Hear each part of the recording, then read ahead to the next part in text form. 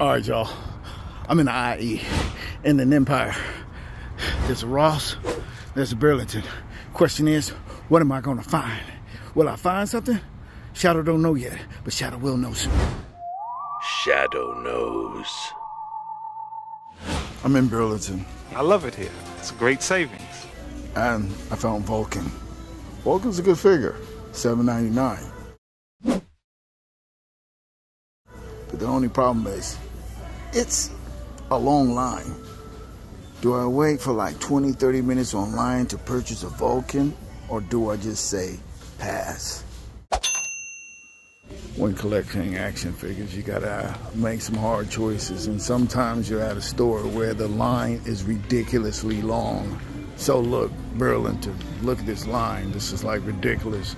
So when you're at a point where you say, "Oh, look, I found something," then you have to ask yourself the question: Is it worth waiting 30 minutes, 40 minutes online just to make like one purchase?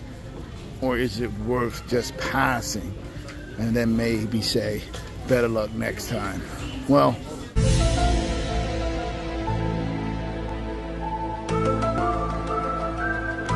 on this one right here, Shadowe gotta say, better luck next time, bro.